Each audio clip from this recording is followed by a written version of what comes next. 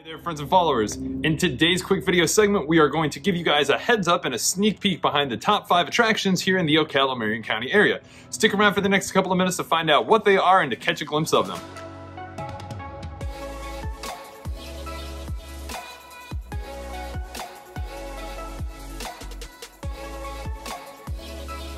Yes, indeed. Welcome back. As always, thanks for tuning in, checking out the videos. So the top five attractions here in the Ocala, Marion County area. Now you may recall a few of these from another video I did, which was the top 10 things to do here in Ocala. And if you didn't catch that video, no worries. I'll actually include a link at the uh, top of the screen there. Nonetheless, top five attractions, let's check them out. Coming in at the number five spot is Big Daddy Don Garlits Museum of Drag Racing. Now, uh, this attraction is located just off Interstate 75 and Highway 484, which makes it super easy and convenient to locate.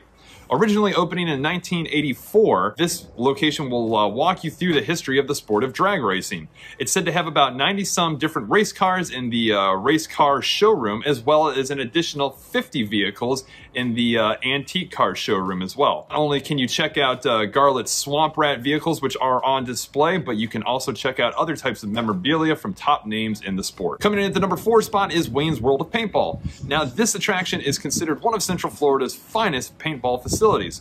Located off of Highway 441, which runs smack dab through Ocala, this location gives amateurs and veterans the opportunity alike to engage in uh, speedball, regular paintball, and airsoft battle tournaments. They are also world renowned for their 24 hour role playing scenario games, which takes uh, place at the attraction on an annual basis. Coming in at number three is the Canyon Zipline and Adventure Park. Now, this great attraction gives visitors five different options to choose from as far as their zipline adventure goes, and spans across uh, various different canyon areas as well as four different lakes. In addition to that, they also have a full moon zipline adventure, which takes place in the evening hours for added excitement as well.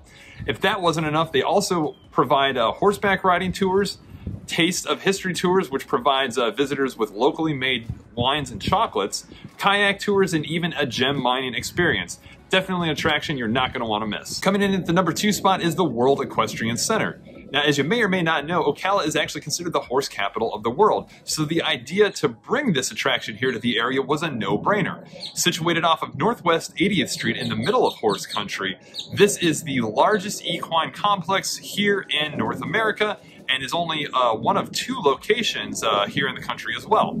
Through their core values of quality, class, and distinction, this attraction provides uh, visitors with a one-of-a-kind experience no matter where you fall into the equine uh, industry, be it visitor, spectator, sponsor, or retailer. Coming in at the number one spot for top attractions here in the area is none other than the Silver Springs State Park. Now, Silver Springs is located uh, just east of Ocala off of State Road 40, just before hitting the Ocala National Forest. Being labeled as one of Florida's first tourist attractions, uh, this location was established before the Civil War around the 1852 timeframe.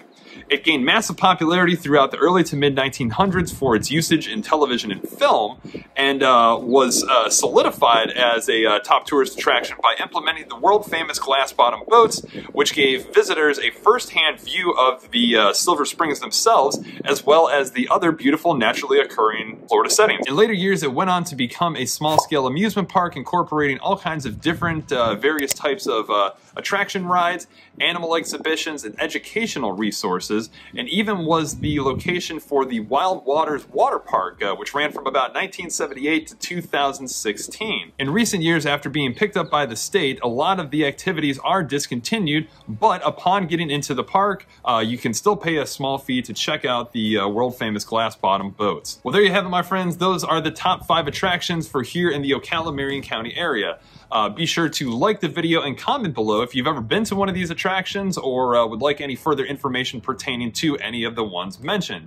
As always, thanks for tuning in, and checking out the videos. We'll catch you guys on the next one.